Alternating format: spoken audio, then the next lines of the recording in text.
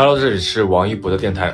我们经常在一些旧电影里听到“动幺动幺动幺两拐”，很好奇这是什么意思。其实啊，是铁路系统对数字的读法，动就是零，幺就是一，两就是二，拐”就是七。之所以念成代码一样，是因为这种特殊的数字发音起源于战火纷飞的年代，有信息保护的作用。